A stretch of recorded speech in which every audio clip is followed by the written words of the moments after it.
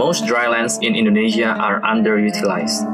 Farmers in Gunung Kidul, for instance, can only harvest once a year. Their real work as farmers only lasts for three months. They abandon their lands during the dry season, and to survive, they become migrant workers and earn around $1 per day. Unstable and low income makes them poor, uneducated, and unskilled. And that's why they could not escape from the circle of poverty. Micro Oasis offers holistic dryland irrigation solution by using pitcher fertigation system. We first provide water access and produce pitchers, we then suggest farmers to choose plant portfolio.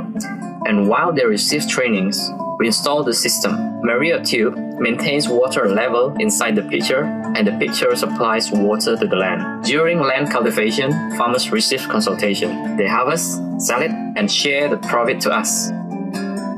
Our business model ensure sustainable financial return.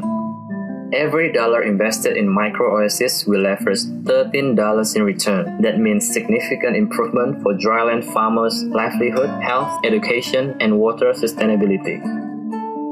Micro Oasis has started the initial implementation to help Mr. Timan cultivate his dryland. Help us, help them.